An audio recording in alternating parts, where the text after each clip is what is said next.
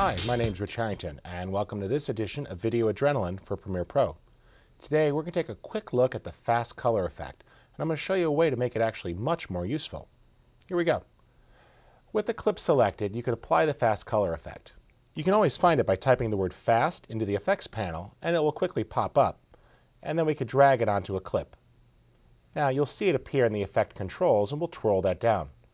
The fast color effect has lots of options for fixing color, I'm going to show you how to use it fast.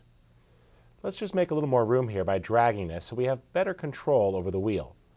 I'm going to take the white balance eyedropper and click on something that should be white. You see what it did there is, is it pushed it a little bit towards blue to compensate for the fact that the shot was a little bit warm.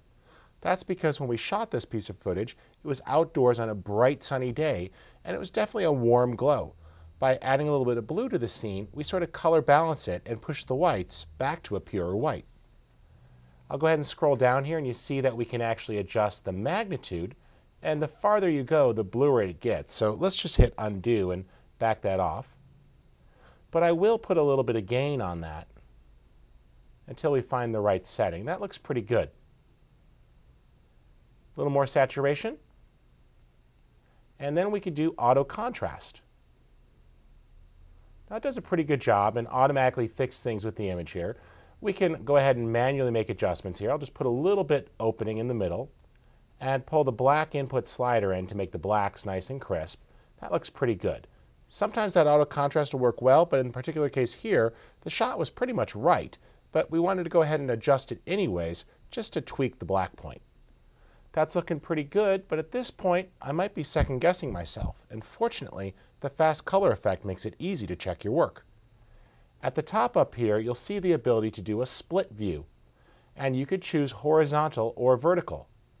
By dragging through, you could quickly see a before and after, which makes it easy to tell what you've done.